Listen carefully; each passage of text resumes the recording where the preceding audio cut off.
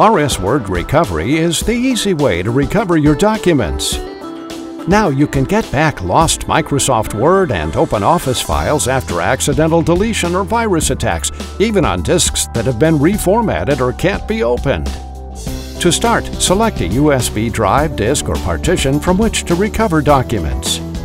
Quick analysis allows spotting recoverable documents in just minutes, while deep analysis finds everything that can be recovered. After analysis is finished, inspect the documents to recover. You can recover individual files or an entire disk. The program can place documents in the folders where they were originally located. Then save the recovered documents to a hard drive, CD or DVD disk or FTP server. The program even allows recovering encrypted and compressed documents. It also supports recovery from corrupt and inaccessible disks. You can even create a virtual disk image as a digital clean room for safe document recovery.